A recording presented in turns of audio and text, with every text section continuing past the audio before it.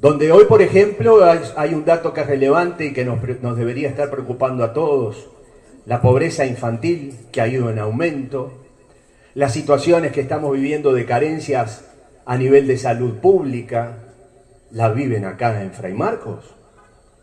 Tienen problemas que se han ido agravando en los últimos años. Voy a decir algo y capaz que alguno pueda decir que no, que es mentira. No hay medicamentos acá. No tienen medicamentos. Y esa es la verdad. Acá quien requiere el servicio público de salud no se puede enfermar después de las 5 de la tarde, ¿puede ser?